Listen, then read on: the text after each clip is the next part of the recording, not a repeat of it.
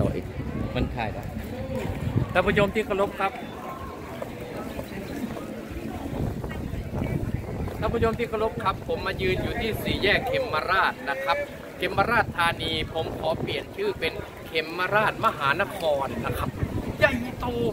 จังหวัดใหญ่ๆไปแล้วก็ถนนคนเดินสู้ที่นี่ไม่ได้ครับมีฝรั่งต่างชาติมาเยอะแยะ แล้วก็มีสินค้าหลากหลายทุกระดับไม่ใช่เฉพาะผ้านะครับ อาหารพื้นเมืองอาหารท้องถิ่นของปรุงแต่งหลากหลายมากมายว่ายนี้จังหวัดใดที่ไม่ได้ทำควรจะทำป้ายนี้ไว้ คนมาเขาจะถ่ายรูปกับป้ายแบบนี้แหละครับ และอันที่สองครับ มีคนแนะนำว่าอยากให้มีป้ายถ่ายรูปเยอะๆ ที่เมื่อกี้เนี่ยก็มีที่ถ่ายรูปนะ สุกเกษมเขมราชอืมเขามีป้ายเลยนะครับ หลากหลายแล้วก็อื่นๆหลากหลาย ผมขออนุญาตบนด้านนี้นะครับเนี่ยครับถนนสายวัฒนธรรมเขาเขียนไว้เลยนะ แต่อยากให้เพิ่มเป็นภาษา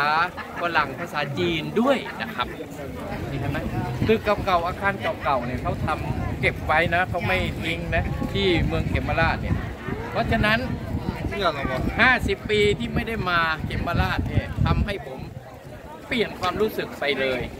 ผมจะกลับมาอีก เพราะว่าตอนนี้หัวใจน้อยๆของผมฝากไว้ที่เขมราชบุรีมหานครแห่งนี้ซะแล้วใช่ใช่ ตายตายตาย